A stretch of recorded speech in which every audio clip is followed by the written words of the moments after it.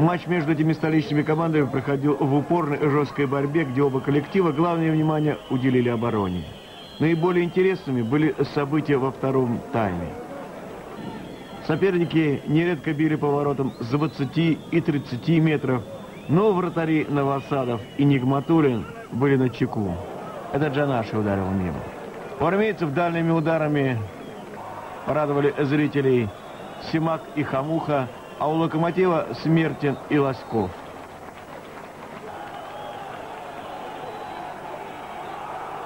Вот видите, как играют вратари и как радуются зрители. Каких-то длинных комбинаций с выходом воротам было немного. Все решили, в конце концов, замены. Вышедшие на поле футболисты ЦСКА действовали активнее. Игру армейцев усилил появившийся во втором тайме Кулик.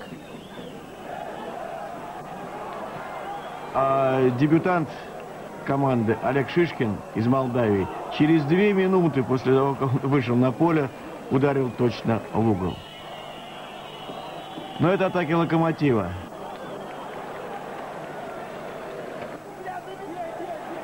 Хамуха бьет. Отличный удар. Ну и вратарь играет здорово. А вот в этом эпизоде я бы отметил Варламова. Это благодаря его усилиям мяч отскочил к Шишкину, и тот направил мяч точно в угол. Хорошо играл Варламов, напористо вел за собой партнера. Последние минуты встречи прошли в взаимных атаках.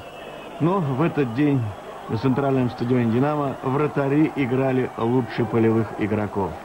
Им смело можно поставить высокой оценки. А вот Джанаши Кулик не использовали выгодные моменты. Счет так и остался. 1-0 в пользу ЦСКА.